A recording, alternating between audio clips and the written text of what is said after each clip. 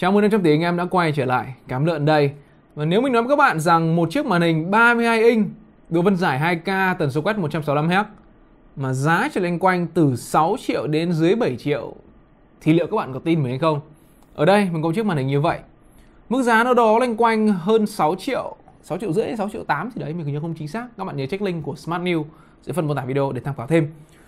Thì liệu những cái thông số như vậy Nghe nó rất hấp dẫn mà giá lại rẻ như thế Nó ngon thật hay không? Hãy cùng nhau tìm hiểu ngay sau intro.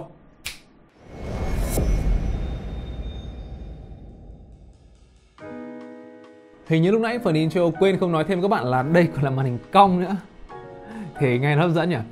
Cong 32 inch 2K chứ còn Full HD mà lại còn 165Hz Không phải 144 mà là 165 Vô lý không? Rất vô lý.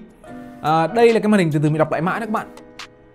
Mã chính xác của nó là V32FL Đây là chiếc màn hình này. Mình không rõ rằng thương hiệu Atas họ sử dụng tấm nền của hãng nào mà để có thể đạt được cái mức giá hấp dẫn như vậy. Và hãy cùng nhau thử đi qua cái thiết kế trước nhé. Thì đầu tiên cái màn hình này có thể nói là đi theo cái kiểu thiết kế màn hình không viền. Tức là ở hai bên viền rất là mỏng. Và trên cũng vậy, chỉ ở dưới có một chút ở đây với logo Atas thôi. Tóm gọn lại là cái màn hình này 32 inch. À, Nó gần như là gọn nhất có thể rồi Viền rất mỏng ở xung quanh. Và chúng ta có cái độ cong rất cơ bản là 1800R như các bạn có thấy đây thì phía trước màn hình không hề có nút bấm gì cả. Tất cả nút điều khiển đều nằm ở bên dưới. Nó sẽ nằm ở phần bên phải đây. Nếu bạn điều khiển ví dụ như là tăng giảm độ sáng, điều khiển cái màu sắc của màn hình vân vân mấy mây thì nút được giấu hết ở dưới. Uh, Mình thích kiểu này nó làm cho cái mặt trước nhìn nó gọn gàng, sạch sẽ hơn. Nhưng mà vì nút ở dưới cũng như là à, không có biểu tượng gì hướng dẫn cả Nên các bạn phải mất công mò mò thời gian.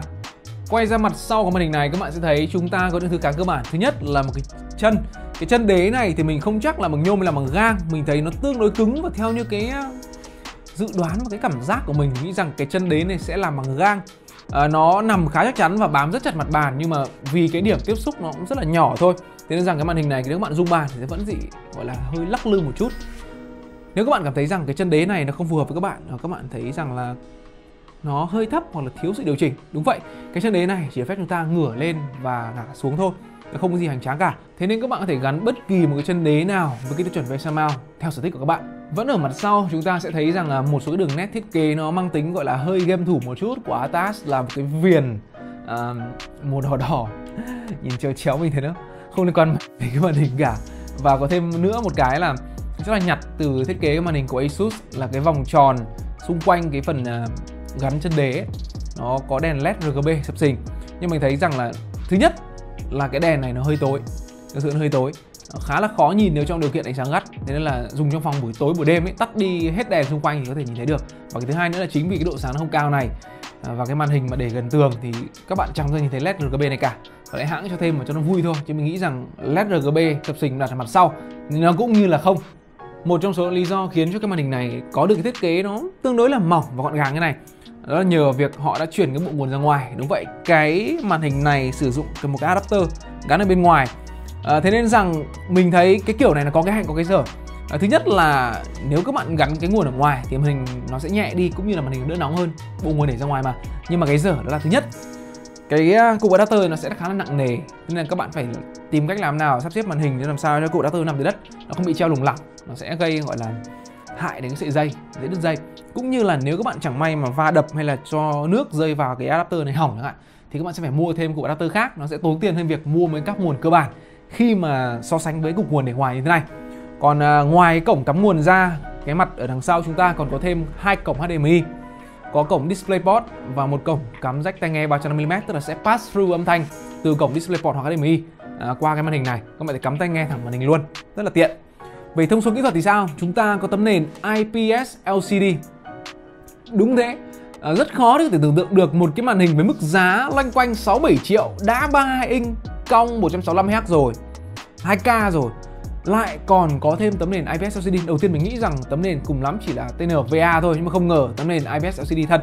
Góc nhìn rất rộng nhìn rất thoải mái ở bất kỳ góc độ nào. Ngon hơn cả cái chiếc XG32 VQ mình đang dùng chỉ là VA thôi, nhìn lệch lệch một tí lệch màu. Còn cái màn hình này góc nhìn rất ổn. Nhưng mà chưa hết, đó là cái màn hình này còn có tốc độ phản hồi là 20 giây. Và sau khi mình suy nghĩ lại với mức giá loanh quanh 6 triệu đến chưa đến 7 triệu mà đã có 32 inch 2K cong 165Hz rồi, lại còn IPS rồi, lại còn đòi 20 giây nữa thì làm sao có thể có cái tấm nền nào nó ngon được trong cái mức giá như vậy mình thấy khá là khó tin. Bởi vì 20 giây này chỉ là cái tốc độ phản hồi mà hãng đưa ra thôi. Mình thấy mình chưa tin nên là mình đã test thử. À, và vì mình cũng chưa có đủ những cái thiết bị nào gọi là chuyên môn để dành riêng việc đo tốc độ phản hồi màn hình. Mình đã đo bằng mắt thôi. Mình thử di chuột mình thử chơi game mình à, soi các cái bóng mờ thì mình cảm giác rằng cái màn hình này nó sẽ có cái tốc độ phản hồi từ 8 đến 10 ms giây chứ không phải là 20 ms giây. Đó theo mắt mình như vậy. Và nếu các bạn không tin mình các bạn có thể đến thẳng smartnews.vn trải nghiệm thử màn hình này. Đó do mắt mình nhưng mà nếu các bạn không quá khó tính thì mình nghĩ rằng kể cả 8 hay 10 ms giây nó vẫn là ổn. Tiếp theo với các cái tính năng của màn hình này thì vẫn chưa hết sự ngạc nhiên ở đây là nó còn hỗ trợ cả AMD FreeSync và có tính năng học lọc ánh sáng xanh khá là đầy đủ. À, nhất là trong cái tình trạng bây giờ là các màn hình Nvidia đang khá là hiếm và AMD sắp sửa bán ra không biết liệu có hiếm nữa không. Mà các bạn có thể mua thử các AMD chạy FreeSync để xem khác bọt như thế nào so với việc không có FreeSync và với cái màn hình này thì mình test thử bằng SpyDeck Elite. Thì độ sáng màn hình hơi đáng tiếc một chút là cuối cùng đã tìm ra cái điểm yếu chất người màn hình này, đó là độ sáng. Trung bình chỉ 160 nit mà thôi. Có một số điểm ở trên màn hình này, ví dụ như là cái phần viền dưới nó sẽ sáng hơn một chút, nó lên khoảng tầm 200 đến 220 nit. Còn à, độ sáng trung bình của màn hình này chỉ là 160 nit mà thôi. Thì cái độ sáng này nó sẽ chỉ phù hợp cho các bạn sử dụng trong những cái văn phòng với ánh sáng nhẹ. Nếu như cái ở studio mình này đang bật rất nhiều đèn, mình phải à, cho cái độ sáng của màn hình này lên tối đa, cũng như là giảm bớt đèn xung quanh studio đi để các bạn có thể nhìn rõ được màn hình bởi màn hình độ sáng nó không hề cao. Nên anh em anh em hãy tránh ánh sáng trực diện chiếu màn hình. Thì đó là điểm yếu chết người màn hình này là độ sáng không hề cao một tí nào. Nó là thấp luôn. Còn về độ chuẩn màu sắc thì mình lại khá ngạc nhiên đó là nó đạt được 99% giải màu sRGB và 76% Adobe RGB cũng như là 78% DCP3 thì à, đây là một cái độ chuẩn sắc tương đối ổn. Có thể à, gọi là qua một chút cân chỉnh các bạn có thể sử dụng cái màn hình này để dựng video và làm ảnh bán chuyên được. Ok vậy thì sau cùng trải nghiệm sử dụng của mình với cái màn hình này như thế nào? Thứ nhất là khi chơi các game với tiết tấu nhanh ví dụ như Apex Legends hay CSGO thì các bạn nếu mà soi kỹ sẽ cảm nhận được có bóng mờ bởi vì cái tốc độ phản hồi nó không nhanh như 20 giây như quảng cáo đâu. À, nhưng mà nếu anh em không quá là khó khăn về cái vấn đề này không quá khó tính thì mình nghĩ rằng không vấn đề gì cả. Đó cái thứ nhất. À, cái thứ hai là vì đây là màn hình cong thế nên là một số trải nghiệm xem phim chơi game nó cũng sẽ đã hơn rất nhiều. Cũng như là vì cái màn hình này sử dụng vấn đề IPS nên là rằng những người ngồi xung quanh có thể nhìn được cái màn hình này rất thoải mái không sợ bị lệch màu. Tiếp theo là các bạn nên gắn cái màn hình này à chính xác là nên để cái màn hình này lên những cái bàn nó chắc chắn một chút. À, đừng như cái bàn ở studio mình chân hơi yếu yếu. Nên rằng khi các bạn chơi game mà đụng tay màn hình nhiều thế cảm giác cái màn hình nó hơi lung lay nó sẽ gây ra một chút hiện tượng khó chịu. Ngoài ra còn một số điểm phải lưu ý nữa đó là nếu các bạn muốn tần số quét lên tối đa là 165Hz thì nhớ sử dụng kết nối DisplayPort bởi vì HDMI cái màn hình này chỉ lên được 75Hz mà thôi.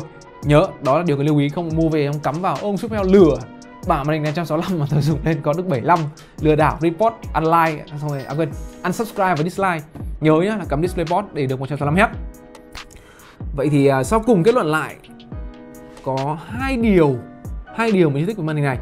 À, thứ nhất là cái tốc độ phản hồi là 20 giây thì mình thấy nó hơi điêu không được 20 giây. Đó theo mắt của mình và cái thứ hai mình thấy chưa hài lòng đó là cái độ sáng màn hình nó chỉ đạt 160 nit thôi. Thì đó là hai điều. Còn lại những điều rất hấp dẫn là gì? IPS góc nhìn rất rộng, rất ok, màu sắc tương đối. Và nếu các bạn sử dụng uh, các cái phần mềm hoặc những thiết bị nào căn chỉnh màu sắc, ví dụ như Swidex Elite chẳng hạn, thì căn chỉnh lại màu nó sẽ đậm đà hơn nhìn dễ chịu rất là nhiều so với uh, ba đầu tiên mang về. Đầu tiên lúc mang về thì màu nó hơi nhạt, căn chỉnh lại thì màu khá là ngon. Và thứ ba chúng ta có độ phân giải 2K và kích thước 32 inch, à, thừa sắc nét và cũng như là nó rất rộng rãi, đủ các bạn làm rất nhiều việc khác nhau.